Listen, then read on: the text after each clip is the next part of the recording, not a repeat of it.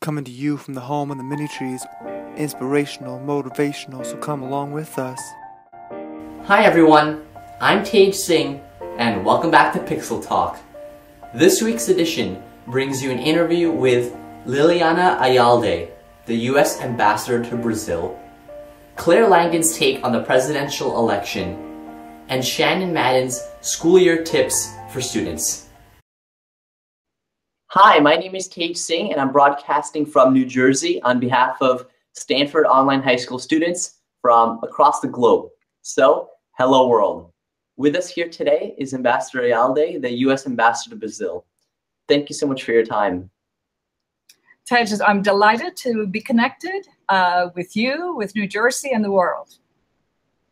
So, our first question is what areas take up most of your time as an ambassador? I'm assuming you must be quite busy yes, it's a, a, sort of unpredictable days, uh, but I would say I would divide it into uh, interacting with government officials and uh, Brazilians of all sorts of life, not only government, but maybe uh, university leadership, uh, certainly private sector, and our private sector. I do a lot with U.S. companies and try to generate more U.S. business in Brazil. Um, researchers uh, you know, trying to promote uh, technology exchanges. So it's kind of a variety. So the meetings, uh, the, the bilateral agenda, as well as the internal uh, work of an embassy. Uh, were, were huge. So I need to meet with the leaders of the different agencies to make sure that I am kept abreast of what's going on. So there's a certain management um, uh, to it as well. So it seems like you do quite a lot. What do you see as the most fulfilling or interesting part of your job?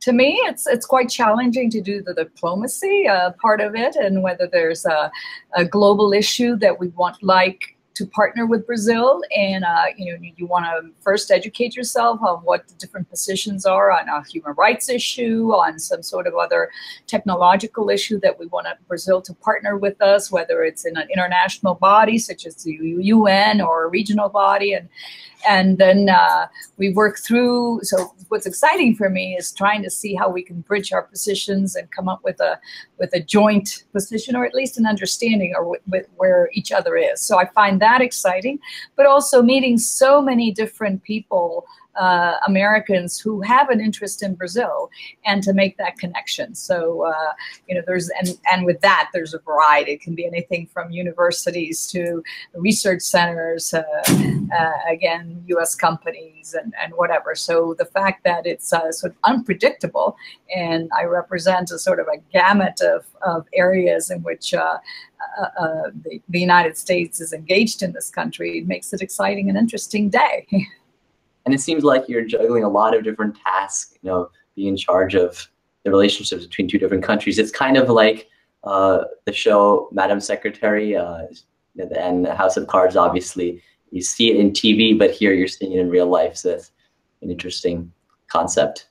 Yeah, well, there there is a little amount of drama, uh, but I, I would hope that it's a, uh, and, and at times it's uh, yeah, it's really challenging issues. Uh, um, but the exposure to so many so many aspects and you be, you can become an expert in uh, through the different specialists that are at the embassy uh, in areas that you'd never imagine you would. Uh, some things very technical whether it's in the climate change area but the things that are making a difference for the world which is exciting. And i doubt that any two days you know might be the same uh, for you but what does a typical day just look like yeah, totally. And, and no no day is the same, and no day starts the same as you think it was going to be. You know, I have a schedule that that uh, probably starts off with a press brief. Uh, that's probably the one thing that I know will happen in the morning. Uh, so I get together my, with uh, my staff who, who mon- monitors the press, and and uh, you know, we try to speak in Portuguese to get some of the um, uh, the vocabulary that is unique to that particular political issue.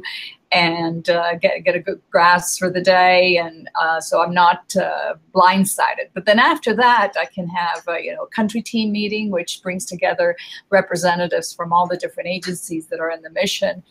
Uh, at times, uh, I am connected with our consulates. We have consulates throughout Recife, São Paulo, all of them, and in, in Rio, all bringing them different perspectives of, of this country that's huge and very very diverse and I may have you know meetings with um, some CEOs that may be in town or a, a, VP for governmental relations who is having an issue on getting their product uh, produced here or you know I may go to Congress uh, and meet with some of the deputies or the senators uh, where there's a particular interest in our bilateral agenda.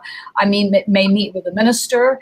Um, a courtesy call and just make sure that we know uh, where, there's a mutual um, coincidence in our in our uh, agendas. Uh, I may receive other ambassadors. Uh, Brasilia has uh, one of the largest presence, uh, besides New York, of representatives from around the world. So I, you know, maybe seeing the ambassador of Malawi one day, the new ambassador of uh, Germany, and we talk about um, uh, global issues, regional issues, as well as bilateral issues. And then, um, uh, of course, I have internal meetings just to to, to, to to troubleshoot or be supportive to what our staff is doing.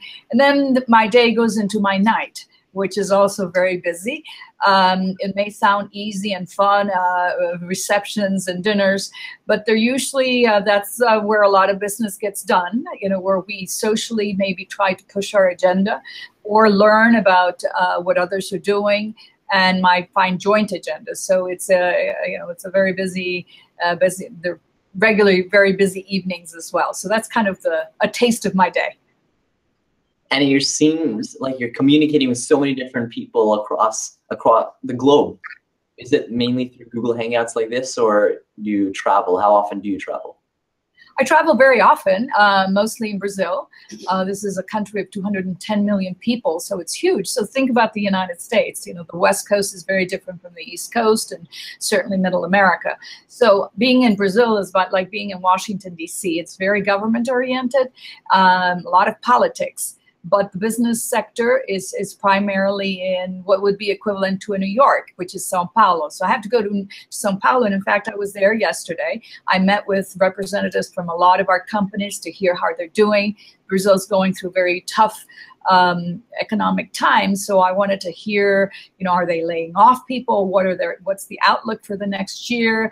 How are they been uh, accommodating uh, to assist these economic situations? So I traveled to to uh, uh, Sao Paulo.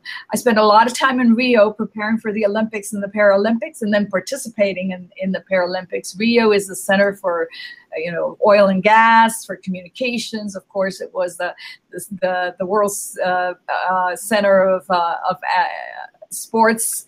Uh, very exciting times, and I go there often. Then the Northeast, we have a consulate in in Recife, which um, the Northeast is very different. It's a it's it's a poor area of the country, and uh, uh, so we have a presence there. But I go to other places where we may not necessarily have a presence, but where we have interests. We want to get more diverse students, for instance, from the Amazon. So I travel to some of the Amazon states, uh, and uh, those, of course, are very interesting. And there's a lot of interest in English language, uh, in learning, uh, in connecting with students elsewhere. So by being there, I can provide some of the resources that they are that we have to uh, students about going and studying to the United States, for instance. Um, so it's uh, it's a lot of travel, and every once in a while I travel to to Washington or Miami or someplace in the state where there may be some meeting uh, that the that the State Department is hosting or others for outreach. I'm invited by think tanks and or other uh, entities that may have an interest in Brazil, and so they invite me to speak and about the you know what is Brazil today and what how is our relationship shaping? So there's there's a variety of trips as well. And you were talking about students earlier so moving on to the segment about you know your experience how was your high school or college experience like? Are there any memories or particular courses or teachers or professors that inspired you that you, know, you still remember to this day Well, I went to a rather small school, but I was always um, interested in uh, anything that had to do with international relations.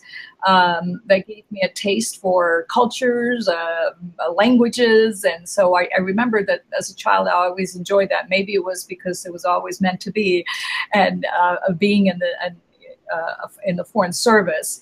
Uh, so I always enjoyed that and meeting people from different countries and um, certainly learning languages from a young age. So, pulling from your experiences, is there anything that you would like to tell our generation? Do you have a message or advice of sorts? Yeah, I think um, you know as I look back and and and uh, how people have shaped my current career and you know what has been useful. Uh, one is I think um, to be yourself no matter what. I mean, sometimes people change because they think, oh, now I'm the boss, I have to be different. And so I think uh, you are what you are, and you should uh, you know uh, enjoy as as you go through. The other is is is about that enjoying it, just to have fun. You know, you you want to do what you really enjoy. If you don't enjoy what you're doing, uh, then it's pretty uh, awful to go through the day. Um, you spend a lot of day, a lot of part of your of your day working, but work should be fun. So um, I think that um, that's that's something I carry with me, and and I would think that that would be useful for for others as well. So now we're at our this or that segment. So we'll provide you with a question, just answer in a few words if that's possible. Okay. Would you rather have one wish granted today or three in 10 years? Uh, one wish granted today. Is there something you wish the education system of today taught that it currently doesn't? Ooh, uh, something that the system is not teaching. Um, I think we become very technological and uh, you know relation. So I see a lot of of the younger generation dealing a lot with technology, and and sometimes I I, I uh, worry whether the human relations and the you know may be put to a side. So I think interactions are very important at the workplace and in life, and so I would hope that that would be maintained. And it's crucial for jobs like yours or anything where communicating between countries or companies it plays a critical role in our society? Very critical. And also you know i have for instance a, a, um, an embassy that has 1400 people uh, and so dealing with the issues everyone's not equally the same, meaning we all have different personalities. We may have strong personalities, maybe we may get along with people. So managing people is very important, and communication skills and interpersonal skill, skills are key to be successful. That's a lot of employees. Is Brazil one of the largest ones? Like I remember, I remember you saying it, other than the U.S. But do all embassies? I'm curious, have that many people, or oh, no, this this is this is one of the largest. It's definitely one of the largest, uh, certainly in the region. Um, we we have a lot of people not only here in Brazil, but as I mentioned, a little bit spread out in the other consulates. So that that adds a a, a challenge of making sure we're all singing from the same page. What's your favorite thing to do in your free time? Oh dear. Um, I spend time with the family. I like to. Uh, I've got. I have two. Uh, teenage daughters, and now they're going to school. But um, when they're here, you know, doing things together, uh, traveling, and uh, seeing different parts of whatever place we're in, and they've they've uh, been a, uh, an important part of our lives. So, so we, we we try to do as much as we can together. What's your favorite newspaper or website to read? Oh, I do a lot of surfing. you know, I feel like you need to sort of, uh, and maybe that is a mistake because there's so much out there. But I try to make sure that I have a temperature on on everything, including sometimes there's there's some blogs or whatever that that may be out there. But it, I think it's important to have a kind of a, a broad view, and and so you know, I I try to read the the um, uh, the regular, uh, you know, New York Times or uh, Wall Street Journal or the Washington Post. Uh, uh, but at the same time, you know, there's a lot out there. I think the challenge is is uh, you know how much can you read in a day, and with every on top of everything else I have. So I try to. Um, I mean, sometimes people send things to me because they know I'm interested, so I try to to focus on those as well. Would you rather win an Olympic medal or an Academy Award? Oh, because we've just gone through the Olympics and I'm just sort of thrilled with having had that experience. Uh, I would say Olympics. If you could trade lives with any person for a day, who would it be?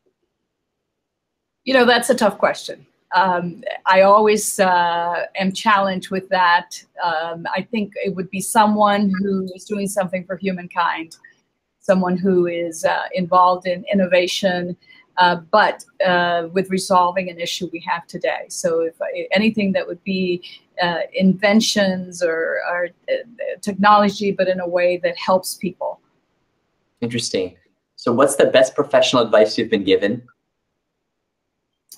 Um, I think uh, going back to what I've already said, um, uh, being yourself, I think that has been uh, particularly important for me. That even though I've moved through the through the ranks in the in the foreign service, um, I'm still the same person. Um, that's been helpful. And the other is about uh, the importance of a, of a, of a happy uh, workplace. And so, you know, anything I can do as I uh, as a leader to improve the workplace, I think is important. So that concludes our interview with Ambassador Ayalde. Uh, thank you so much for your time. We sincerely appreciate it. Well, thank you. It was fun. Uh, and I hope that uh, everyone that's listening to this uh, finds some nugget of, of, of important advice or, or interesting uh, and new things for them. Thank you. Hello, everyone. My name is Claire Langdon, and today I'm going to give you a brief synopsis of the American people's arguments against the two prospective presidential candidates, focusing especially on American politics, a critical perspective on the arguments of the presidential candidates and the American people. As most of us are probably aware from the news lately, this presidential election has been one of the most controversial yet. Many people exert their opinions that neither Donald Trump nor Hillary Clinton are viable options for the next President of the United States. Additionally, upon closer inspection of both candidates' arguments, it is interesting to dissect the logical legitimacy of their assertions. For example, both candidates are guilty of using ad hominem arguments against each other by publishing propaganda and making personal insults during debates, which shines a negative light on both contenders in the opinions of the American people. The resulting disagreements that ensue are some of the many reasons that undecided American voters dub both candidates as incapable and undesirable. Furthermore, the results of this type of rhetoric make both candidates seem immature and unreliable in the eyes of many viewers. While supporters of Clinton argue for her experience, Trump supporters are looking for a positive change in the economy and policies of our country. Yet, many voters are undecided because of an arguable lack of maturity and argumentative legitimacy, as exhibited by the prospective candidates, which results in rampant controversy that we see in American politics today. Thanks for watching. Hi guys, I'm back. And as a senior at OHS, I've developed a couple of tricks to make it through this mid-semester slump you're probably feeling right about now. If it hasn't hit you yet, get ready. And if you're one of the students who doesn't go through this rough patch, then I probably kind of hate you right now. Go out right now and buy another pair of sweatpants because as the weather gets colder, depending on where you live, you'll want the warmth of sweatpants in addition to the comfort they provide when you're writing that midterm paper at 3 a.m. at your kitchen table. If you think you already own enough sweats, think again. This midterm season, you're going to be skipping a few showers, so you'll want to make sure you have plenty of fresh sweatpants Make sure you have a big enough coffee mug. Midterm season basically means no sleep. And while some people can stay awake countless hours at a time, for the normal people out there, we need our caffeine. This being said, you should probably make sure you have at least a bowl sized coffee mug on hand. If you're not a coffee person, you can use it for tea. If you're not a tea person, you can use it for hot cocoa. And if you're not a hot chocolate person, then you aren't human. Alright, guys, this is a real tip don't stress yourself out too much. I know this seems impossible as it's basically in every OHSer's DNA to stress, but you'll end up burning out with half the semester to go. Take breaks, take care of yourself, and do whatever it takes to de stress. You might lose a couple of hours of sleep and a little bit of your sanity, but I promise that you'll make it through. And just remember, when you do make it through these next few weeks, you can always look forward to finals. Thanks for watching. Until then,